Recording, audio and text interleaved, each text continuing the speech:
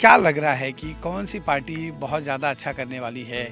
किस तरह की स्थिति लग रही है आपको? इतना काम जो हुआ है हमारे गुजरात में और हमारे कच्छ में और पूरे इलाके में, उसके अलावा बीजेपी ने क्या है, नरेंद्र मोदी साहब ने यहाँ पे जो वाइट रण है, वो रण, रणोत्सव शुरू किया, रणोत्सव की वजह से लोग आने लगे। तो जो ये मीठा है ना, मीठे को हम गुजराती नमक को हम गुजराती में मीठो बोलते हैं।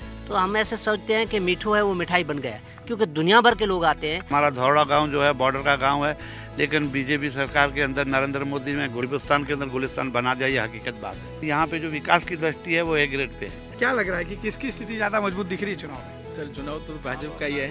अच्छा। जी।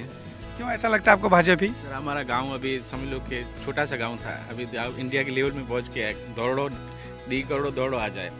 अभी नमक का भी हमारा यहाँ शुरू हो गया है वाइट रण का। और पहले इधर गैस का भी नहीं था हमको मालूम ही नहीं था गैस कैसा है। दो कनेक्शन था मैं उसमें डेली मैन हूँ अभी गैस का दौड़ भूज चलाता हूँ मैं।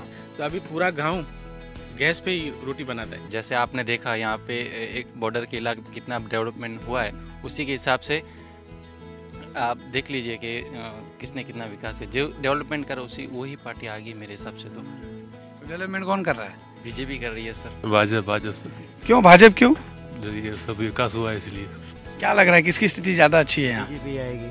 बीजेपी आएगी। क्या स्थिति लग रही है कि कौन सबसे ज़्यादा मज़बूत स्थिति में है यहाँ? भाजपा सरकार। भाजपा। क्यों बीजेपी ही क्यों? दूसरी पार्टियाँ क्यों नहीं? सर देखो विकास का विकास देखा जाए तो सबसे अच्छा विकास किया है तो बीजेपी ने किया है हमारे इधर। रोड पानी रास्ता सब सब हमारे इधर। तो जिसने विकास किया है वही आएगा ना।